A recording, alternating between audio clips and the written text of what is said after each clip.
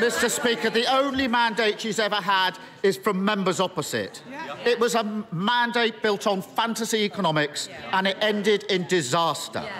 The country's got nothing to show for it except the destruction of the economy and the implosion of the Tory party. I've got the list here 45p tax cut, gone.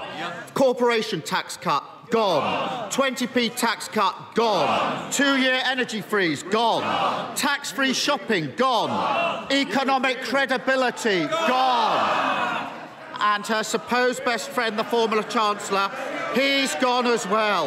They're all gone. So why is she still here? Mr. Speaker. Mr. Speaker, I am a fighter and not a quitter. I have acted in the national interest to make sure that we have economic stability. Prime Minister. Order. Order. I'm going to hear the Prime Minister. I suggest that all members need to hear the answer. Prime Minister.